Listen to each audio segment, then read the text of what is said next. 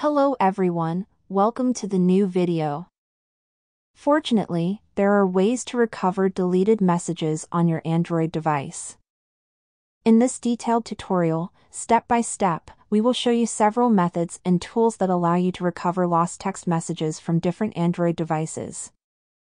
Whether you've accidentally deleted messages, updated your software, or had your phone lost or stolen, there's a chance you can retrieve those important messages. We're here to help you recover lost memories and information. Let's embark on the journey together to recover deleted text messages on your Android device. First, open the messaging app. Then, select the message you want to delete, tap on it, and hold for a moment. Now, click on Delete at the bottom of the screen. To recover that message, follow these steps. First, click on the three dots on the right side of the screen.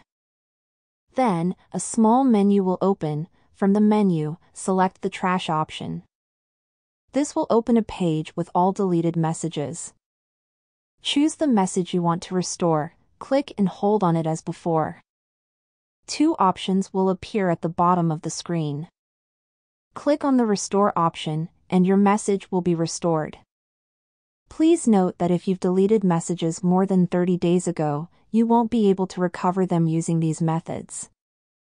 In that case, you can use a third-party recovery app, but I personally don't recommend that method as it may expose your phone's data to risks. That's it for this video. Thank you for watching, and have a great day.